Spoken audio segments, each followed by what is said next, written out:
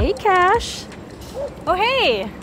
What's up? I heard you were here in the city visiting a little bit, so I wanted to catch you for 21 questions. Yeah, totally. I'm just on a location scout, but I have time. Perfect. So tell us, what do you do? Well, I am a video director and short form VFX content creator. Cool. And what got you started in video and visual effects? Um, you know, I had a video camera when I was really young, like maybe 16, and just started shooting a video randomly and it actually came together really nicely and editing came super naturally to me. So, you know, my mom would kind of support me from there and help me figure out what software to get and what cameras to get so that I could sort of grow my skill. Yeah. And so what was your first camera? I think it, you know, I don't remember the exact model, but it was some little handy cam that yeah. had like the little tape in it. It was a while ago. and what's your go-to camera and lens now? Right now, I love using my Sony a7S II, although I'm going to upgrade to the a7S III nice. very soon, and then the Rokinon 14 millimeter lens. Perfect. And how did you get so good at editing specifically? so I've really always been interested in editing um, because I love the fact that rather than shooting, you can really take time with it, try a million different things. You don't have any time constraint. Mm -hmm. So I've always been really drawn to that. And um, just years of experimenting and you know learning from other people and just doing it until I could figure things out. Yeah. And you've worked with countless big talents and brands. What's it like working with big names? Um, it's really, really fun and a lot of pressure. So it's really important to be prepared when you're going into a shoot like that. Um, you know, it's obviously different if you're shooting with somebody like Will Smith. You have a very, very narrow window of time, so you right. have to make sure you are fully prepared and you get the shot 100%. Um, whereas if you're shooting with friends, you know, obviously you have a little bit more wiggle room to be experimental and try different things. So it's just sort of a different process. Sure. And your work is always pushing the limits and always showing something new. Where do you find your inspiration? You know, there's a lot of uh, similar kind of VFX short form artists that I follow religiously and really look at all their stuff all the time. Um, something that's really helpful for me is just keeping different folders on Instagram. So I have like one for effects that I really like, one for camera angles that I really like, one for color that I really like. And whenever I'm feeling like I'm not sure where to go with an edit, I can kind of open up that folder and just sort of see all right, what out of these might apply to this project that I'm working on and how can I put my own sort of spin on it? Sure, that's an awesome workflow. And you've gained a huge following. And how has social media helped you in your career? Social media is pretty much where my career is right now. It's, you know, everything I make is for social media, um, pretty much like Instagram feed content, TikTok, Reels, stuff like that. Uh, and that's like really 95% of the way that clients find me is just by either DMing me or seeing something on my feed and then reaching out through email, which I just have in my bio. So it just it really all just comes from pretty much Instagram directly. Wow, that's so cool. And so tell us what is Edit Party? Okay, so Edit Party is essentially a virtual co-working space. So I love to edit and I love to just get really, really zoned into an edit for hours and hours. But you know, if you do that all the time, then you're kind of just by yourself all the time. So I love having people to co-work with. And during COVID, we weren't able to do that. So I was just by myself a lot of the time. And I thought, well, what if there was a virtual co-working space where all these editors could kind of come together and just see each other work and listen to music together, which is how I normally love to do it with my friends in person, um, and not really talk, just type in the chat. And so I started it with no expectations and it just blew up. And now we've been running 24 7 uh, for, I guess, a little over a year now, a year and a few months. Uh, we have like 54 different countries represented. There's people of all different backgrounds and uh, who speak all different languages, but they cool. translate the chat. So it, it's actually very open to everybody. Um, we have super professional people, we have people who are just starting their first day of editing, and we have people who are not doing editing at all. We have people who are graphic designers, photographers, really, some people just come on and cook. So it's just kind of this great community where everyone's become really close and we have each other to, you know, ask questions to, ask about different plugins, different gear, things like that, which is something you really kind of can't do with a lot of different groups of friends. Absolutely, that's amazing. And so I'm curious, your name isn't actually Cache Bunny, is it? Were you born that way? It's not, but I don't like to share my real name. Cool. So for now, I like to be called either Cache or any version of Cache Bunny. Cool. And so do you have any projects you're working on or coming up? So I've just recently taken a break uh, to move. So I kind of am just hanging out right now, but I have a lot of projects coming up in the next like month or two. Um, one of them is a continuation of a project I did recently, and another one is this kind of live performance, adding effects to it, which should be really, really cool and unique. That's awesome. I can't wait.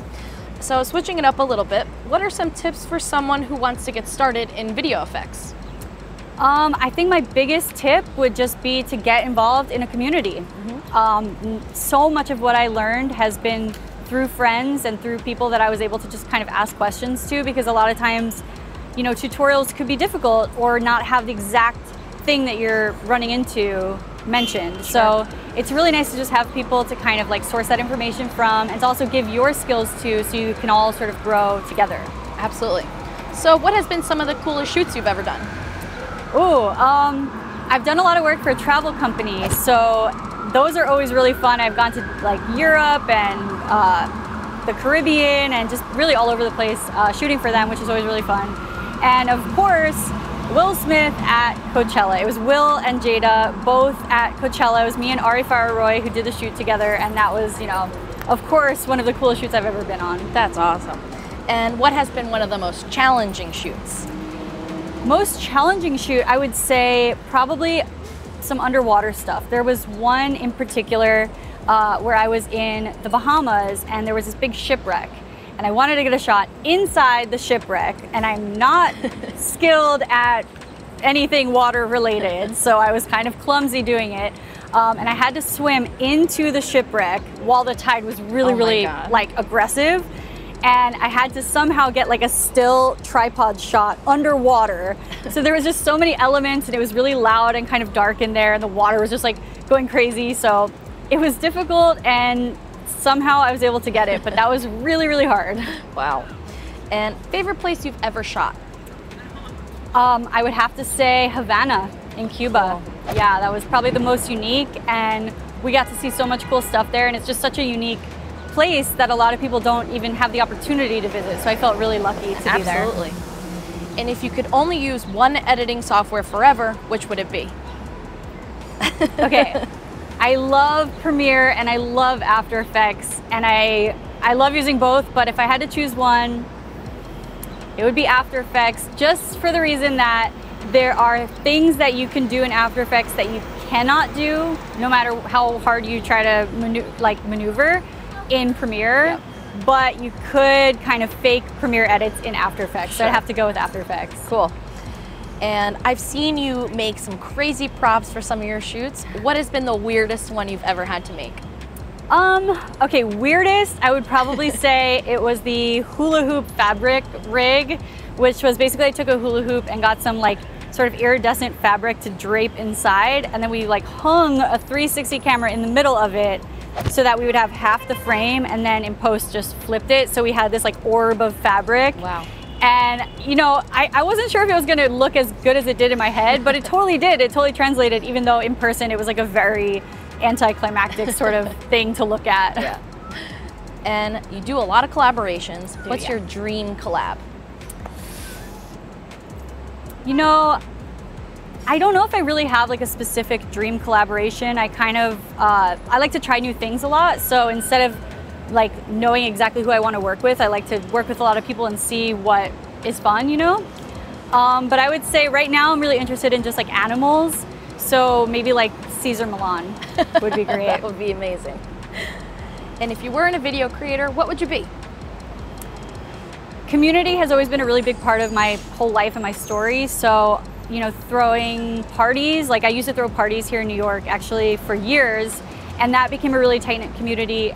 Edit parties, a tight knit community. So I would have to say it would be something along those lines, maybe creating a co working space or, or something like that. Awesome. And what's the best piece of advice you've ever received? One day at a time. You know, a lot of people they look at like who want to get into videography look at it as this huge mountain to climb. Mm-hmm. But really, it's just take a couple steps each day and like you'll get there eventually and there's no rush. That's perfect. And what's your favorite piece of gear? You know, lately it's been my Insta360 One X2. I love it. I love 360. There's so many it's just so inspiring because you're already starting with such a cool, like, step one mm-hmm. when you're with a 360 camera that Yeah. there's so much you can do. And you know, plus the fact that it like stabilizes itself and all that stuff. Like the, the technology is so good right now that it's just really fun to shoot with, and it kind of opens my mind. Yeah. And if there were to be a movie about your life, who would play you? I've had people tell me that I remind them of Zooey Deschanel. Okay. It might just be the bangs, I don't know, but like maybe her, I guess. Cool. That's amazing. And last question who should we interview next? I think that's a tough question. There are so many creators that I love, but Romain Laurent would be an excellent one if you haven't talked to him already. Perfect. Well, call him right up. And thank you so much for answering all of our questions. I'll let you get back to it. Thank you so much. See you soon. Have a good one.